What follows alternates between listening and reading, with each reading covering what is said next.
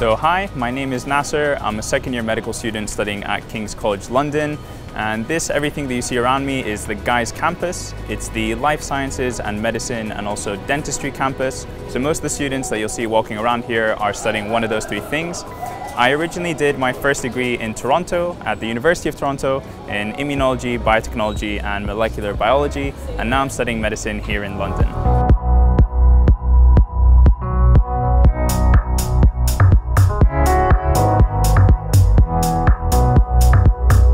This behind me is the Shepherd's Bush building, also known as the Chantler SaIL Center.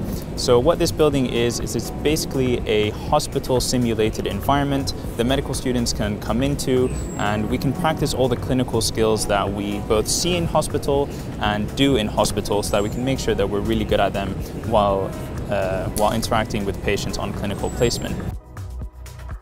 Um, so inside the Chantler SaIL building, we have on display one of the student selected components by one of my good friends. Um, so in this project that you do in second year, it can either be clinically focused or it can be about the arts and humanities. And so my friend, he decided to use photography to showcase the passions that medical students have outside of medical school. So for example, uh, we have someone playing the guitar, we have me making YouTube videos, um, and we're all wearing a stethoscope to indicate that we are medical students and we love medicine, but we also have passions outside of medical school that we carry on with us. We don't just forget about them just because we're now in medical school. Um, it's something that we can continue to do. So this is the Hodgkin building behind me and if you're interested in medicine at all you might have heard of Hodgkin's lymphoma and it's actually named after Mr. Hodgkin who was a anatomy curator here many many years ago. Um, so that's who this building is named after. It's basically the cornerstone of the medical school here on Guy's campus. It has a couple of lecture theaters, many smaller rooms dedicated to tutorials and case-based discussion type learning and then it also has the cadaveric dissection rooms. They're up on the top floor and something great about King's is that the cadaveric dissection is done firsthand by the students. So it's a really good way to sort of get in there and really practice uh, taking a look at the human body from the inside. It's a very good way to learn your anatomy and I would highly recommend it if you can. It's actually one of the main reasons that I applied to King's College London as well. Um, so we're standing just outside one of the anatomy labs, which is where I held a human brain in my hands for the very first time. And just to the left of me over here is the Gordon Museum.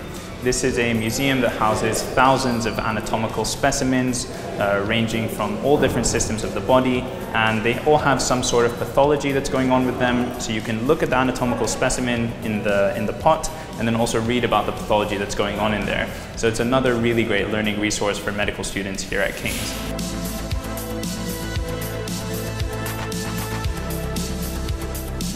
So since I studied immunology as one of my majors back at the University of Toronto, when I got to King's College London, I decided to join the Immunology Society and they asked me to give a presentation or a lecture in this room to second year medical students uh, talking about different immunological diseases. So let's say rheumatoid arthritis, uh, SLE or lupus um, and other things like that. So this lecture hall holds a special place for me because it's where I gave my first sort of lecture at university. Um, and yeah, they've recently renovated it with all these bright colors, uh, so it'll be perfect for when you come here.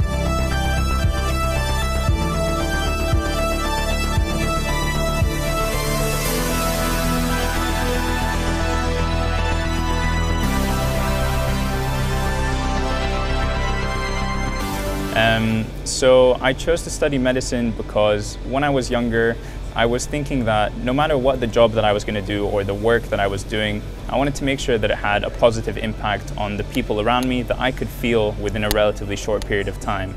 And then because I really loved uh, sciences at high school and I had a passion for the human body, I decided to do some research experience and also work in hospitals to shadow doctors and sort of try and see if that love for the sciences and the human body would be applicable to the chaotic field of medicine.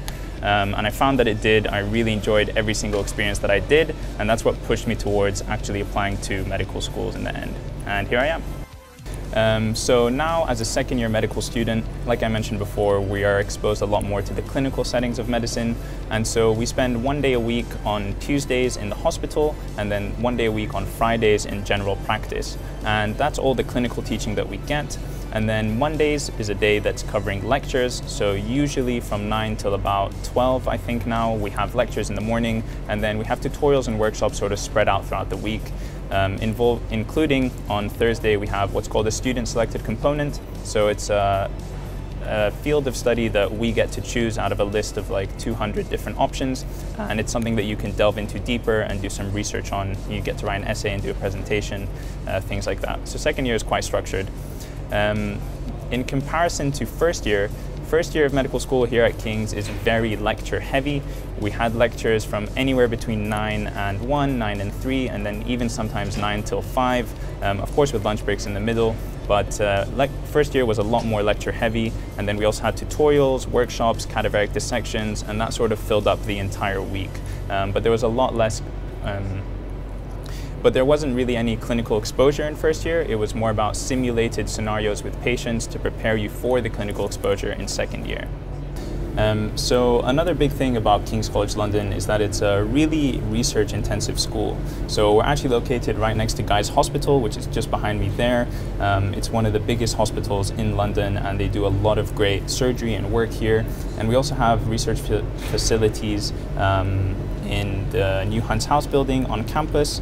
And just generally, there are a lot of good lecture. There are a lot of lecturers here that put out really amazing research. And in fact, a lot of my friends do research here during the school year and over the summer.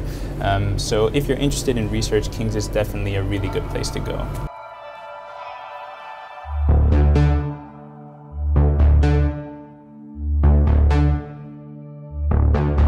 So this is the shed. It is the social hub of Guy's campus and this place is absolutely packed during lunchtime. Everyone comes to take a break here uh, in between lectures or for their lunch or just to unwind a little bit. We also have a ping pong table and a foosball table. So there's a lot of good places to let off some steam.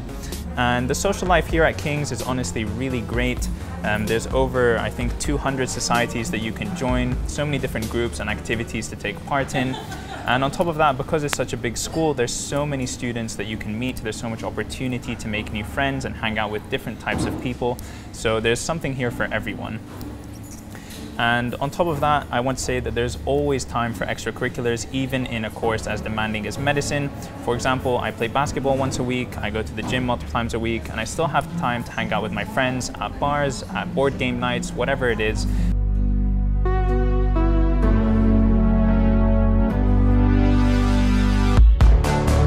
So yeah, I even have enough time to run my own YouTube channel.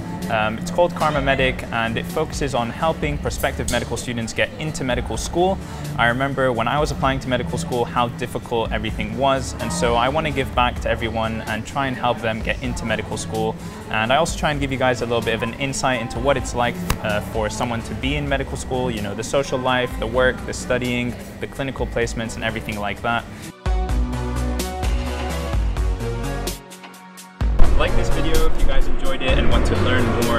Colleges and see days in the life of different students. You guys can also subscribe to this channel if you want to get more of this content. Um, so yeah, enjoy.